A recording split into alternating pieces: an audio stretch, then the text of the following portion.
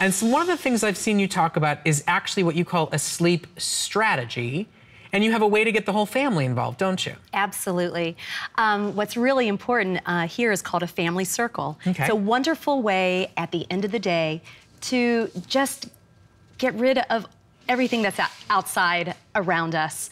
Um, it's a time to just connect with your family. So what you do is you get your family together at a certain time every night. It's a it's a ritual that you do, and you all hold hands um, if you like, and you actually talk with each other with no electronic media around, no computers, nothing, and you can really talk about the day. Um, it's a very wonderful time to hear about what the highs of the day, what's the lows of the day, what made you happy, what maybe made you sad, and you really focus on the positive so that everybody can get ready and get relaxed. I love that idea of living in the positive, feeling like you find a moment of happiness. If, if that's the plan, it's going to help you then transition to sleep. And why do you think it is so important to have this plan for going to bed? Because you can be prepared.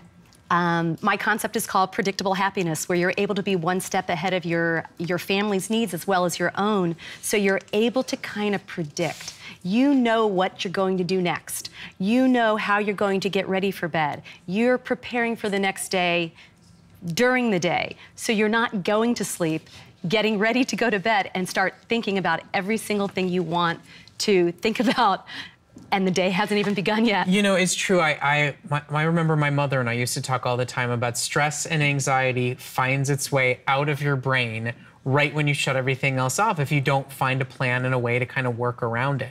Whether it is those, you know, tangible cues that we've talked about so much in our sleep zone, right. or it is coming up with that predictable happiness to live in positivity. Absolutely. It's so important because being positive, I mean, that, that happiness you get, it takes the edge off from your day. Well, we're so glad that there can be just that, a plan, a strategy to falling asleep happily. And thank you so much for bringing it to us here on HSN. Thank you.